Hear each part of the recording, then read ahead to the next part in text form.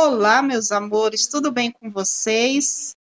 Espero que sim. Hoje eu venho mostrar para vocês um artesanato aqui, ó, usando garrafas. Garrafas que você joga fora, garrafas que você encontra no lixo, entendeu? E eu vou estar tá fazendo um artesanato aqui bem fácil, bem econômico, custo zero. E vocês vão gostar bastante.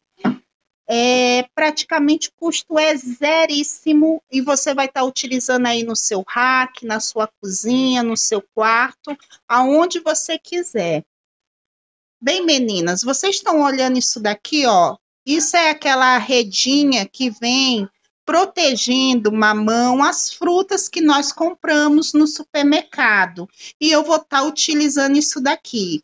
Isso daqui eu peguei no supermercado, não me custou nada, que eles jogam fora.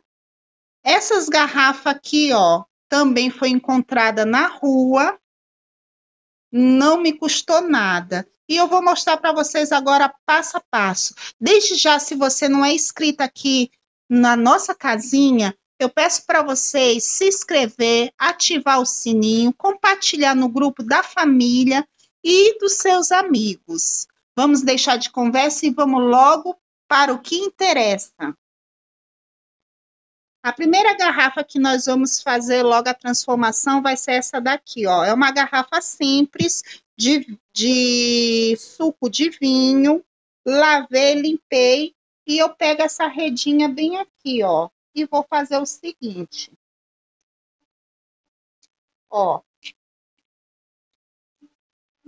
Tá vendo como ela já ficou com visual transado, bonito. Você pode até abaixar um pouquinho mais, ó.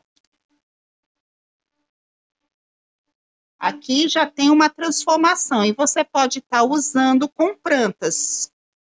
Esse é o primeiro passo. O segundo passo é essa daqui, ó. No mesmo sistema. Você pode estar usando ela assim, ó. Ó. Bem diferente. Aí você amarra um lacinho bem aqui, se você quiser. Entendeu? Aqui, ó, peguei um pedacinho de cinzal. Você amarra e dê aquele lacinho, ó. Vai ficar rústico, tá, meninas? Ó, aqui já é outra ideia. Aqui o mesmo sistema, ó. Dividir no meio a redinha e só vou enfiar assim, ó. Então, ficou aqui, ó, esses três tipos de garrafa, ó. É um trabalho rústico bonito e bem trançado.